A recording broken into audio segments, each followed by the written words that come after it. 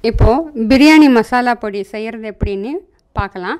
அதுக்கு முன்னாடி அதில் என்னென்ன இருக்குங்கிறத பார்க்கலாம். பட்டை கால் கிலோ. கிராம்பு இருபத்தஞ்சி கிராம். ஏலக்காய் இருபத்தஞ்சி கிராம். இந்த பூ வந்து ஒரு பத்து பூ அன்னாசி பூ.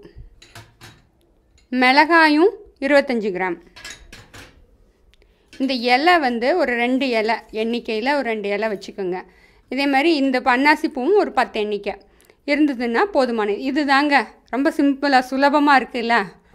இப்போது பிரியாணி மசாலா எப்படி செய்கிறதுன்றதை பார்க்கலாம். நம்ம எவ்வளோ அளவு வேணுன்றதை பார்த்தோம்.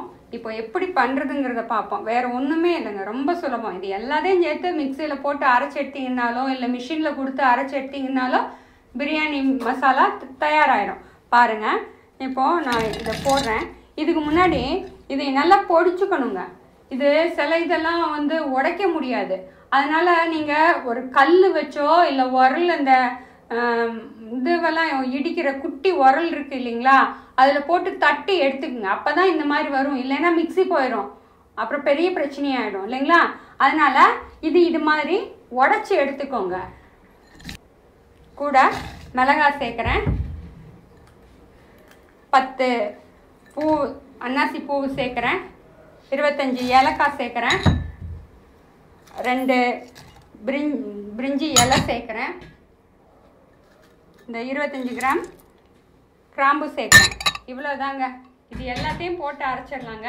பாருங்கள் அரைச்சிருச்சு.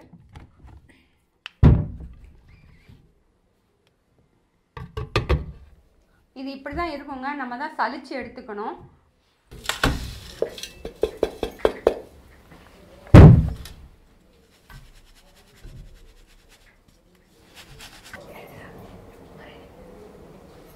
எவ்வளோ மணமான பிரியாணி மசாலா ரெடி ஆயிடுச்சு பார்த்தீங்களா?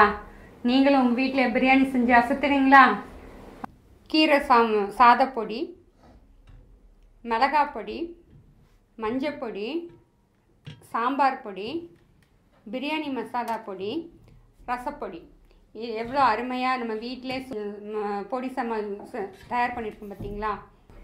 எவ்வளோ எளிமையாக சுலபமாக வீட்டிலே ஆறு விதமான பொடி தயார் பண்ணோம் பார்த்தீங்களா? கொஞ்சமாக இருந்தால் நம்ம வீட்டிலே பண்ணிக்கலாங்க. இதை விட இன்னும் கொஞ்சம் அளவு அதிகமாக வேணும்னா நம்ம ரைஸ் மில்லில் கொடுத்து நல்லா அரைச்சிட்டு வந்துக்கலாங்க. இதில் செலவு ரொம்ப மிச்சமாகுங்க.